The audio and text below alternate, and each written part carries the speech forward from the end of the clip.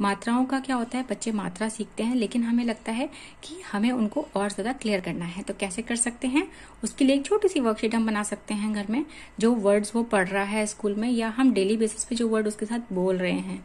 ठीक है? उसको उन्हीं वर्ड्स को लेके हम एक वर्कशीट बनाएँगे, और जो ये मात्राएँ हैं, मात्राओं को जोड़ना कि क में बड़ा, क्या बनेगा? का, क में छोटी मिलेगी तो क्या बनेगा? की ये हमें उनको इंट्रोड्यूस कराना होगा एंड चेंजेस कर करके उनको देने होंगे।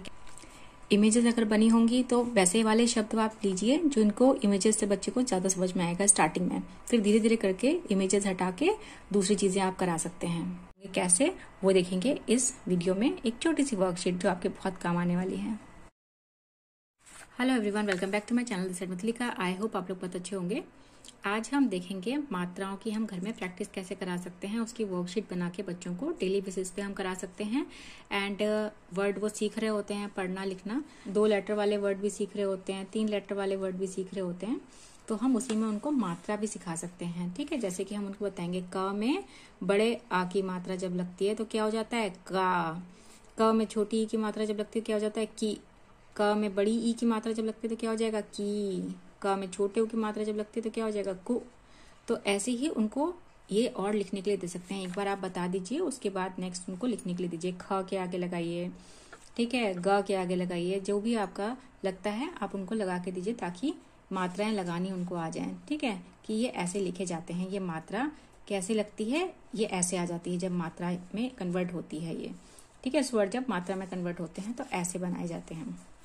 ये लिखना जब उनको आ जाएगा तो जब उनको वो चीज़ आ जाएगी, ठीक है, बहुत अच्छे से क्लियर हो जाएगी तो हम उनको ऐसे दे सकते हैं करने के लिए लाइक यहाँ पे हम थोड़ी सी फिगर्स भी ड्रॉ कर लेंगे।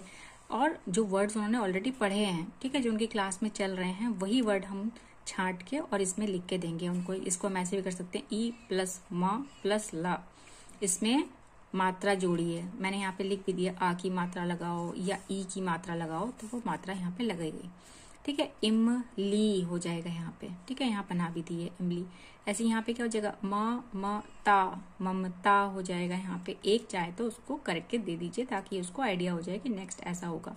या तो एक जैसे दीजिए पहले, कि पहले सिर्फ़ आ की मात्रा दीजिए।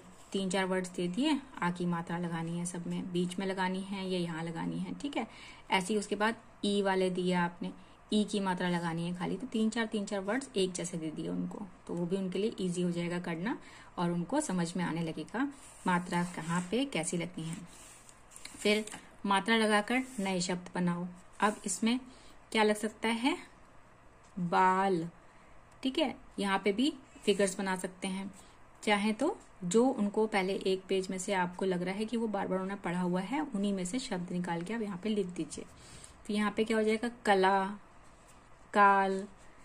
ठीक है? यहाँ पे क्या हो जाएगा? नम से नाम। तो ऐसी हमारे ऊपर है कि हम सिर्फ़ बड़े आ की मात्रा दे रहे हैं। यहाँ पे भी लिख सकते हैं ना कि बड़े आ की मात्रा लगा के बनाइए शब्द नए।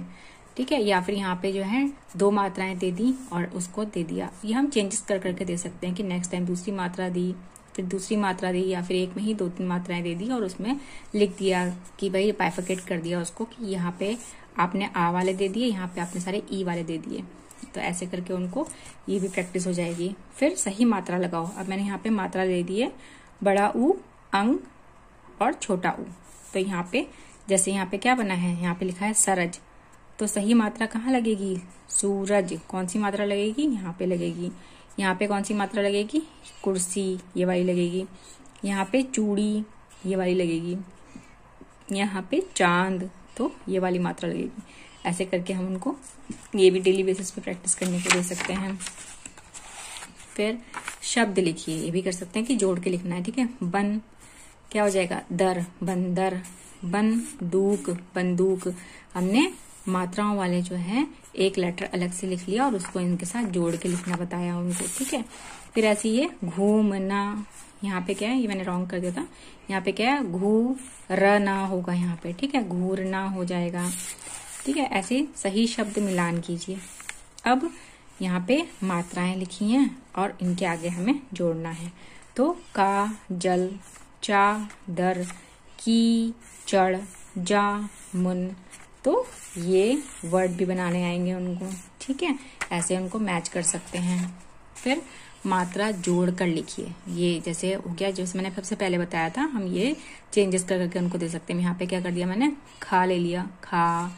यहाँ पे खी हो जाएगा, यहाँ पे खी हो जाएगा। तो ये हम रेगुलर बेसिस पे देंगे तो बहुत अच्छा रहेगा इस चीज़ का। फिर मात्रा अलग कीजिए। अब हमने यहाँ जोड़ी मात्रा, अब हम कह देंगे अलग करो। तो खा में से आ की मात्रा अलग करो। आ की मात्रा अलग हो गई। खी में से मात्रा अलग करो तो ख प्लस ई यहाँ पे ख प्लस ई तो ऐसे करके अलग अलग लिखेंगे तो मात्रा का कॉन्सेप्ट क्लियर होगा धीरे धीरे करके। फिर आप ऐसे शब्द भी ले सकते हैं जिसमें आपको जो है इमेज बना के बच्चे को ज़्यादा अच्छे से समझ में आएगा जैसे छाता है तो छाते की इमेज यहाँ पे बना दी। और ऐसे हम उनको जो है क्वेश्चंस दे सकते हैं। कैसे क्वेश्चंस मैं बताती हूँ आपको। सही शब्द पर गोला करिए। अब क्या करा, एक जैसे शब्द ले लिए, थोड़े कंफ्यूजिंग छीता, छाता, छात। तो कौन सा वाला किसमें मात्रा सही लगी है? ये वाले की मात्रा सही है। मेरा, मेर, मिर। कोई भी ऐसे वर्ड ले लीजिए जो वो रोज बोलता हो, ठीक है? उन्हीं वर्ड को आप पजल कर दीजिए, इधर से उधर घुमा दीजिए एंड उसको दीजिए कि कौन सा वाला सही है। तो ऐसे करके बच्चों की मात्राओं के कॉन्सेप्ट जो है वो क्लियर होने लगेंगे और ये वर्कशीट भी बहुत ईजी रहेगी। ये वर्कशीट में आप उनको रेगुलर बेसिस पे जो है काम करा सकते हैं बदल बदल के चीज़ें दे सकते हैं तो उनके कोई भी डाउट्स नहीं रहेंगे। आई होप ये वीडियो आप लोगों के लिए यूजफुल रही अगर रही है तो प्लीज़ लाइक और शेयर करिएगा। आगे फॉरवर्ड भी कर दीजिएगा। मिलते हैं नेक्स्ट वीडियो में। तब तक के लिए do take care and thank you watching my videos bye